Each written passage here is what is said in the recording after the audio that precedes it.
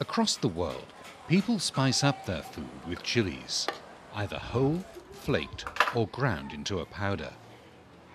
Farmers and traders can earn good money by selling chili products at local and international markets. But when chilies are harvested too late or are not well dried and stored, they can rot quickly.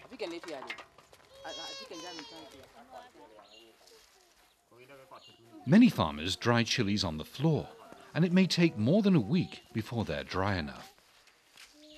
When it rains, or when the weather is wet, many people struggle to dry their chilies.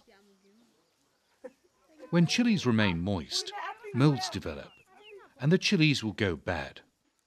Some molds produce a poison called aflatoxin, which is toxic to people.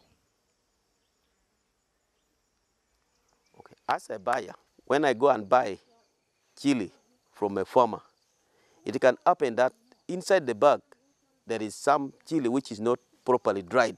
And should it happen that some part which has gone moldy, this moldiness can spread throughout the bag, which eventually will spoil the old chili in the bag. And you'll end up losing the old chili. To speed up drying and to dry your food hygienically, you can use a solar dryer that uses the heat of the sun to dry fruits and vegetables.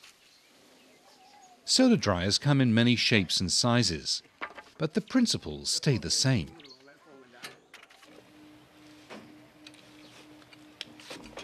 Some expensive solar dryers can dry large quantities of spices and food throughout the year. These dryers use the sun and other sources of heat to keep the temperature constant. A ventilator forces the warm air over the food to draw out the moisture faster.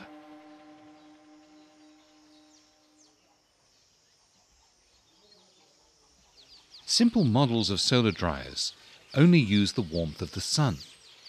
They're made in such a way that even without a ventilator, the air flows over the food.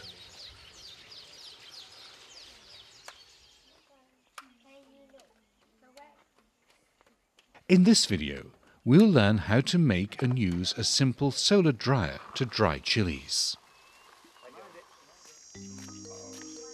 Solar drying allows you to dry food faster and cleaner.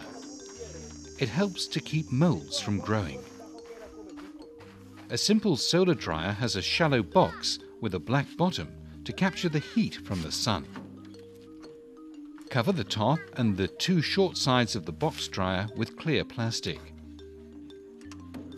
Slightly slant the box and food trays to help the hot air flow faster over the food.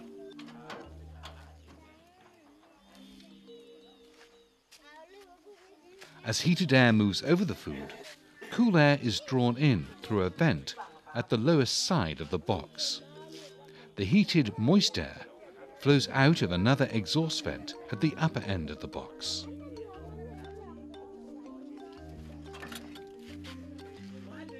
By drying your chilies in a solar dryer, you'll get better quality chilies and fetch a higher price when selling them.